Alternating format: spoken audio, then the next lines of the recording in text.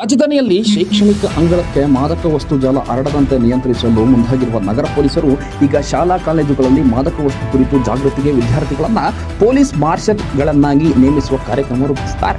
ಈ ಕಾರ್ಯಕ್ರಮವು ಪ್ರಾಯೋಗಿಕವಾಗಿ ಯಲಂಕ ಹಾಗೂ ಯಲಂಕ ಉಪನಗರ ಠಾಣೆಗಳ ವ್ಯಾಪ್ತಿಯಲ್ಲಿ ಅನುಷ್ಠಾನಗೊಳ್ಳುತ್ತಿದ್ದು, ನಿನ್ನೆ ನಗರ ಪೊಲೀಸ್ ಆಯುಕ್ತರಾದ ಬಿ. ದಯಾನಂದ್ ಚಾಲನೆಯನ್ನು ನೀಡಿದರು. ಈ ಎರಡೂ ಠಾಣೆಗಳಲ್ಲಿ ಪೊಲೀಸ್ ಮಾರ್ಷಲ್ಗಳಾಗಿ ವಿವಿಧ ಕಾಲೇಜುಗಳ ಸುಮಾರು ಏಳುನೂರಕ್ಕೂ ಅಧಿಕ ವಿದ್ಯಾರ್ಥಿಗಳು ಆಯ್ಕೆಯಾಗಿದ್ದಾರೆ. ಯಲಹಂಕದ ಡಾಕ್ಟರ್ ಬಿ ಆರ್ ಅಂಬೇಡ್ಕರ್ ಭವನದಲ್ಲಿ ನಡೆದ ಸಮಾರಂಭದಲ್ಲಿ ಮಾತನಾಡಿದ ಆಯುಕ್ತರಾದ ದಯಾನಂದ್ರ ಅವರು, ಶಾಲಾ ಕಾಲೇಜುಗಳಲ್ಲಿ ಮಾದಕ ವಸ್ತು ವ್ಯಸನದ ದುಷ್ಪರಿಣಾಮ ಕುರಿತು ವಿದ್ಯಾರ್ಥಿಗಳಲ್ಲಿ ಅರಿವು ಮೂಡಿಸಬೇಕಾಗಿದೆ. ಶೈಕ್ಷಣಿಕ ಅಂಗಣದಲ್ಲಿ ಶಾಶ್ವತವಾಗಿ ಮಾದಕ ವಸ್ತುಗಳನ್ನು ತೊಲಗಿಸಬೇಕೆಂದು ಕರೆ ನೀಡಿದರು. ಡ್ರಗ್ಸ್ ಸೇವಿಸಿದ ಕೂಡಲೇ ಪೊಲೀಸರಿಗೆ ಎದುರುವ ಅಗತ್ಯವಿಲ್ಲ. ಈ ವ್ಯಸನಗಳಿಗೆ ಸೂಕ್ತ ಸಮಾಲೋಚನಕರ ಮೂಲಕ ಕೌನ್ಸಿಲಿಂಗ್ ನಡೆಸಿ ವ್ಯಸನ ಮುಕ್ತಗೊಳಿಸಲಾಗುತ್ತದೆ. ಹೀಗಾಗಿ ಮುಕ್ತವಾಗಿ ಡ್ರಗ್ಸ್ ವ್ಯಸನಗಳಾಗಿರುವ ವಿದ್ಯಾರ್ಥಿಗಳು ಪೊಲೀಸರನ್ನು ಸಂಪರ್ಕಿಸುವಂತೆ ಆಯುಕ್ತರು ಕಿವಿಮಾತು ಹೇಳಿದರು. ಹೆಚ್ಚುವರಿ ಪೊಲೀಸ್ ಆಯುಕ್ತರಾದ ರಮಣಗುಪ್ತ, ಈಶಾನ್ಯ ವಿಭಾಗದ ಡಿಸಿಪಿ ಲಕ್ಷ್ಮೀಪ್ರಸಾದ್ ಹಾಗೂ ಯಲಹಂಕ ಉಪವಿಭಾಗದ ಎಸಿಪಿ ಆರ್ ಮಂಜುನಾಥ್ ಸೇರಿದಂತೆ ಯಲಹಂಕ, ನ್ಯೂಟೌನ್ ಮತ್ತು ಯಲಹಂಕ ಓಲ್ಟೌನ್ ಟೌನ್ ಠಾಣೆಯ ಸಿಬ್ಬಂದಿ ಭಾಗಿಯಾಗಿದ್ದರು. ಹಾಗಾದರೆ ಪೊಲೀಸ್ ಮಾರ್ಷಲ್ಗಳ ಕೆಲಸವೇನು ಗೊತ್ತಾ? ಬಹುವಿಸ್ತಾರವಾದ ಬೆಂಗಳೂರು ನಗರದಲ್ಲಿರುವ ಅಸಂಖ್ಯಾತ ಶಾಲಾ ಕಾಲೇಜುಗಳಲ್ಲಿ ಡ್ರಗ್ ಹರಡದಂತೆ ಪೊಲೀಸರು ನಿಗಾ ವಹಿಸುವುದು ಕಷ್ಟವಾಗ್ತಾ ಇದೆ. ಹೀಗಾಗಿ ಡ್ರಗ್ ಮಾಫಿಯಾದ ವಿರುದ್ಧ ಸಮರದಲ್ಲಿ ವಿದ್ಯಾರ್ಥಿಗಳನ್ನ ಸಹ ಬಳಸಿಕೊಳ್ಳಲು ಯೋಜಿಸಿದ ಆಯುಕ್ತ ದಯಾನಂದ್ ಅವರು ಪ್ರತಿ ಶಾಲಾ ಕಾಲೇಜುಗಳಲ್ಲಿ ತಲಾ ಐವತ್ತು ವಿದ್ಯಾರ್ಥಿಗಳಿಗೆ ಓರ್ವ ವಿದ್ಯಾರ್ಥಿಯನ್ನ ಆಯ್ಕೆ ಮಾಡಿ ಪೊಲೀಸ್ ಮಾರ್ಷಲ್ಗಳನ್ನಾಗಿ ನೇಮಿಸಲು ನಿರ್ಧರಿಸಿದ್ದಾರೆ. ಅಂತೆಯೇ ಪ್ರತಿ ಶಾಲಾ ಕಾಲೇಜುಗಳಲ್ಲಿ ಪೊಲೀಸ್ ಮಾರ್ಷಲ್ಗಳನ್ನು ಆಯ್ಕೆ ಮಾಡಲಾಗುತ್ತೆ ಆ ಮಾರ್ಷಲ್ ತನ್ನ ತಂಡದ ವಿದ್ಯಾರ್ಥಿಗಳಿಗೆ ಡ್ರಗ್ಸ್ ವ್ಯಸನದ ದುಷ್ಪರಿಣಾಮ ಕುರಿತು ಅರಿವು ಮೂಡಿಸಬೇಕು. ಅಲ್ಲದೆ ಡ್ರಗ್ಸ್ ಜಾಲದ ಬಗ್ಗೆ ಮಾಹಿತಿ ಇದ್ದರೆ ಪೊಲೀಸರಿಗೆ ಹಂಚಿಕೊಳ್ಳಬೇಕು. ಈ ಡ್ರಗ್ಸ್ ಜಾಗೃತಿ ಹೊರತುಪಡಿಸಿ ಮಾರ್ಷಲ್ಗಳನ್ನು ಅನ್ಯ ಕೆಲಸಗಳಿಗೆ ನಿಯೋಜಿಸುವಂತಿಲ್ಲ. ಹಾಗಾಗಿ ಪೊಲೀಸರು ಸಹ ಮಾರ್ಷಲ್ಗಳ ಜೊತೆ ಸಮಾಲೋಚನೆ ನಡೆಸಿ ಅಗತ್ಯ ಸಲಹೆ ಸೂಚನೆಗಳನ್ನು ನೀಡುತ್ತಾರೆ ಎಂದು ಅಧಿಕಾರಿಗಳು ತಿಳಿಸಿದ್ದಾರೆ ಈ ಕಾರ್ಯಕ್ರಮವು ಪ್ರಾಯೋಗಿಕವಾಗಿ ಯಲಹಂಕ ಹಾಗೂ ಯಲಹಂಕ ಉಪನಗರ ಠಾಣೆಗಳ ವ್ಯಾಪ್ತಿಗೆ ಜಾರಿಗೆ ಬಂದಿದ್ದು, ಇಲ್ಲಿ ಸಾಧಕ ಬಾಧಕಗಳನ್ನು ಅವಲೋಕಿಸಿ ಮುಂದಿನ ಹಂತದಲ್ಲಿ ನಗರದ ಎಲ್ಲಾ ಠಾಣೆಗಳಿಗೆ ಮಾರ್ಷಲ್ಗಳನ್ನು ನೇಮಿಸಲು ಆಯುಕ್ತರು ನಿರ್ಧರಿಸಿದ್ದಾರೆ.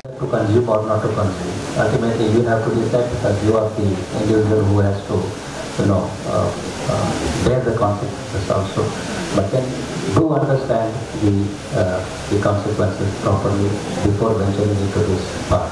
That is the uh, purpose, that is the intent with which we are approaching these schools and colleges and we are here to, to, to not to uh, you know, stigmatize you or not to uh, uh, compartmentalize you drug addicts and other things. No, that is not the purpose. But to understand the issue properly and also help uh, because the peer group is one which uh, uh, works very well amongst the students.